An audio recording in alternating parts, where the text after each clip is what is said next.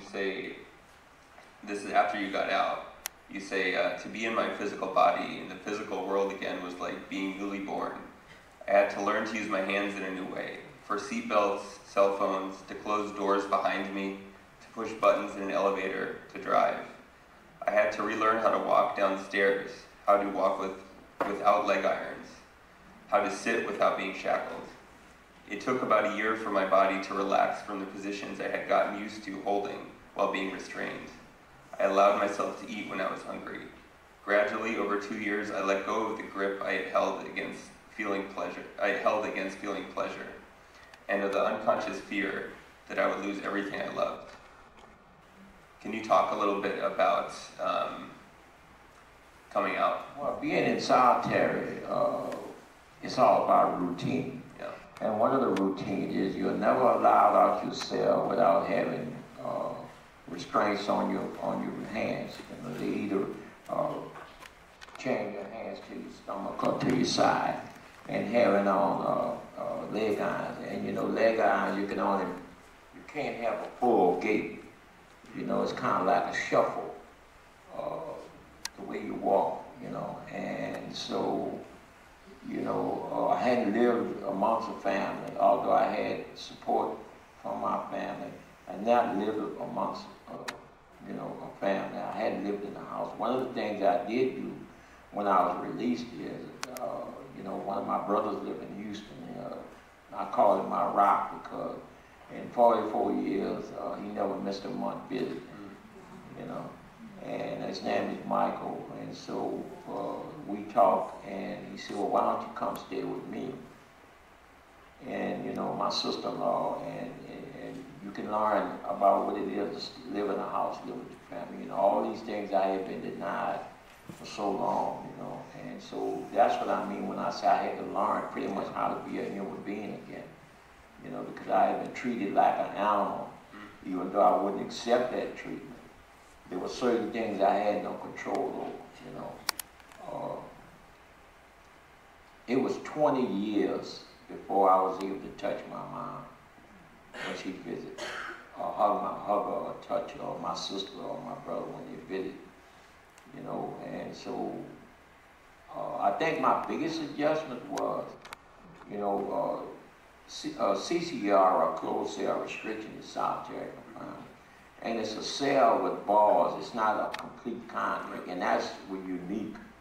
And so I've always had to just, for you know, four decades plus, I had to just defend the front of my bars, mm. you know, my, my cell, you know. So when I got out, and you know, so much publicity about A3 or Angola 3 and stuff. Yeah.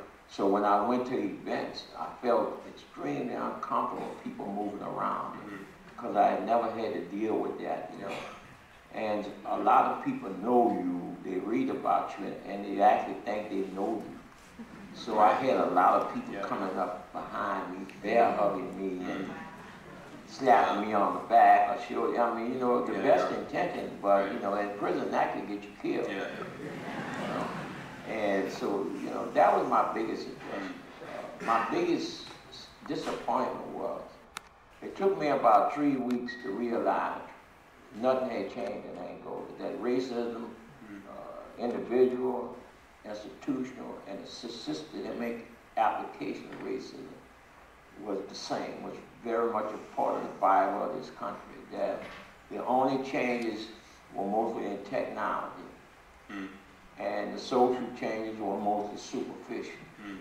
You know, they had found new ways to, to use the N word, Yeah. and but the meaning was just as as, as, evil and just as, as, uh, you know destructive as, as it was uh, when I left, and that was you know really a disappointment.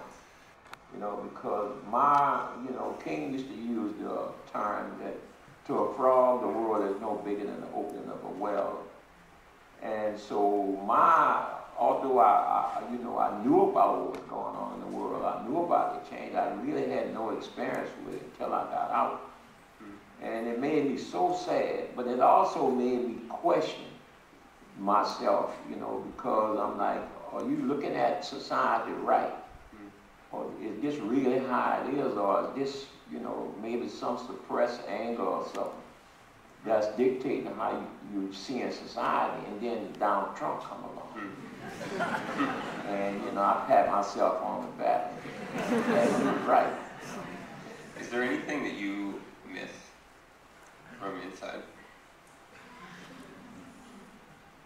In a strange way, you miss the camaraderie, camaraderie, comradeship, you know, of, of guys you live around. I mean, you live around someone, uh, you know, for decades, uh, you know, and you only get, you know, an hour, one hour a day to say hello or to see them when you come out you're on the way to the shower, you know, or stuff, you know. So you develop, you develop some real close bonds, you know. I mean, like Charles Nolan, uh, you know, who I taught how to read and write. The first man I taught to read and write.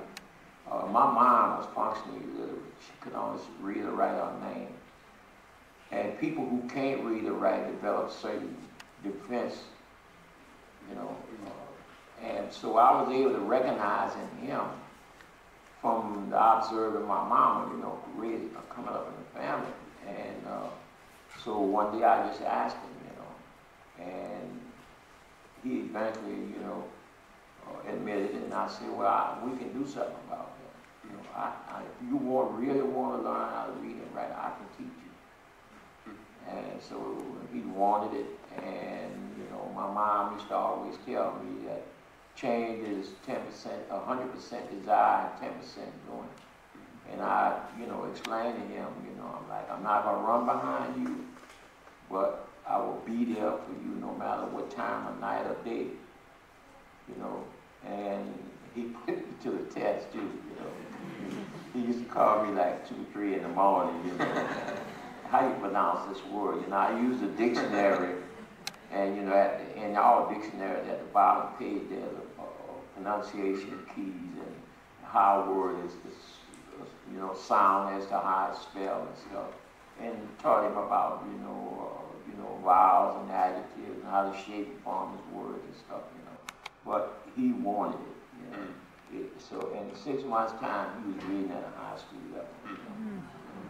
So, and there were so many other men after that, you know, uh, you know, that we taught read and we taught the history. I mean, when we would, would tell, teach uh, life history, they were like, they had no idea the role that, you know, black people played in the development and advancement of society, not just in America, but in the world. And they had no knowledge of, of, of you know, the only image they had of Africa, the image that you see in movies and stuff, you know. And so, you know, uh, that was, you know, played a great role in helping, you know, uh, us to save some of the men uh, that we lived around. Yeah. Uh, let's